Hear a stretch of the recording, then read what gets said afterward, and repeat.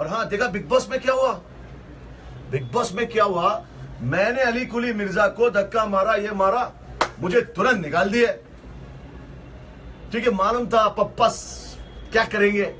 लेकिन विकास से मुझे कोई प्रॉब्लम नहीं है। अच्छा लड़का है अच्छा खेल रहा है। लेकिन रूल तो सबके लिए रूल होना चाहिए ना यार। उसने आकाश को मारा, उसने प्रियांक को मारा, उसने उसको मारा, उनको नहीं निकाल रहे। ऐसा क्यों? मुझे समझ नहीं आ रहा। सलमान भाई ये थोड़ा गलत है। मुझे निकाल दिया गया था, मैं भी खिलाड़ी था। मुझे भी लोगों ने माँ बहन की गाली दी, गुस्सा किया तो मैंने धक्के मारे। उसके बाद अली मान नहीं रहा था तो मैंने उसको थोड़ी सी दे दी, जिस तरह से विकास ने किया। तो यार, सबके साथ सेम होना चाहिए, सबके साथ सेम होना चाहिए। खैर, जो हुआ अच्छा हुआ। हम हम है, बाकी सब पानी कम है। और गोली का गाना देख रहे हो कि नहीं? कॉलर पकड़, झटका दे, कान के नीचे, फटका दे। ले कपचे में अटका दे, दो चार को तो टपका दे। फिर कोई तुझसे पंगा ना लेगा, जिससे डरे तू, वो तुझसे डरेगा।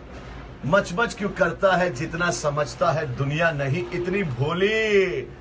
जो भी बोले उसे दे गोली। लव यू, दुआओं में याद रखना और अल्लाह के ज़िक्र का जुबा पे स्वाद रखना।